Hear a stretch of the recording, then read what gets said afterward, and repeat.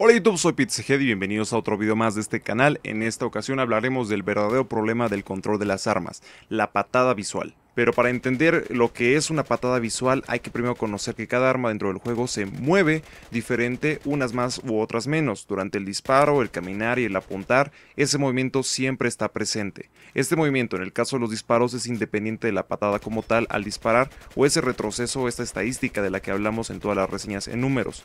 Hay algunas veces que ese movimiento coincide con el retroceso del arma, que es usualmente lo común, como en el caso de la AWR donde no se nota mucho la diferencia entre el lugar al que están disparando y al lugar donde se mueve la mira. Pero hay otras veces en la que el arma se mueve y por ende la mira que tenga puesta encima también lo hace hacia un lugar diferente de donde en realidad el juego reconoce que tú estás apuntando. Por lo mismo muchas veces parecen que fallan cuando la mira se ve puesta sobre el enemigo u otras veces pareciera que tienen una patada infernal cuando en realidad si no se viera ese movimiento del arma nos daríamos cuenta que son mucho más controlables. Un ejemplo de esto es un error con la mira que se ve notoriamente en, por ejemplo, la G36, la serie de, las QVZ y algunas otras, donde si ustedes se mueven de lado con una mira láser se ven dos puntos. El láser siempre señalará la versión verdadera de donde están apuntando, mientras que el arma y la mira en sí les mentirán. Se puede demostrar esto al darnos cuenta que al apuntar a los objetivos o los bordes de las paredes en el campo de pruebas se nota evidentemente la discrepancia.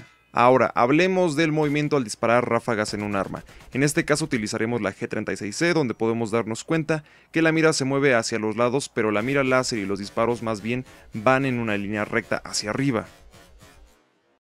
Otro ejemplo, la QBZ95 con una mira de mayor magnitud es igualmente notoria la diferencia sobre todo con la mayor magnificación.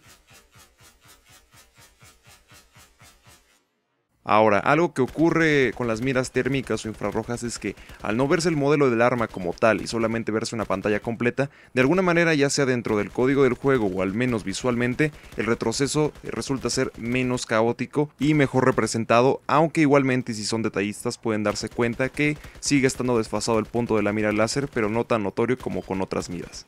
Entonces, ¿qué pueden hacer? Acostumbrarse a las armas y probarlas en el campo de pruebas es lo mejor que pueden hacer. También es recomendable utilizar una mira láser, sobre todo la de color verde para que haya mayor contraste, para guiarse a mayores distancias, aunque tengan cuidado porque una mira láser siempre es un indicador para el enemigo de dónde encontrarlos. Ya sea una función entre comillas realista o un error no intencionado, que qué novedad sería, la mejor solución es la práctica. Espero que este video les haya sido de utilidad y quizá les haya explicado el por qué algunas veces parece que le apuntan pero no le dan al objetivo. Como siempre, si quieren creen que pudiera ser de utilidad, consiguen darle una calificación al mismo. Si no están suscritos, les recomiendo de verdad que vean los demás videos que tengo en el canal para que se convenzan. Twitter y Facebook están en la descripción como medios de contacto para noticias inmediatas y nos vemos en la próxima.